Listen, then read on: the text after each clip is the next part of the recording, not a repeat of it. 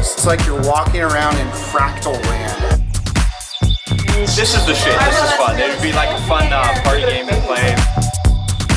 I would describe this as the psychedelic video version of yourself. Kind of a virtual reality dance game kind of a thing. It's just like a 3D image of yourself right there in front of you. You have to see it yourself? It would be like being able to project yourself onto a big screen or something and like without the fear of being like oh that's me it's because it comes out as like a different image of like it's almost a different person but it's you you control it you bring it to life. You could use this anywhere. Party, um, dance club, anywhere, where there's music and a lot of people.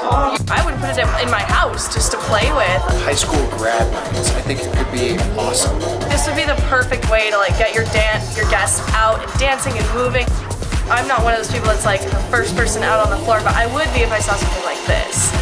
It's fourth dimensional. it's wild. I never see anything like that.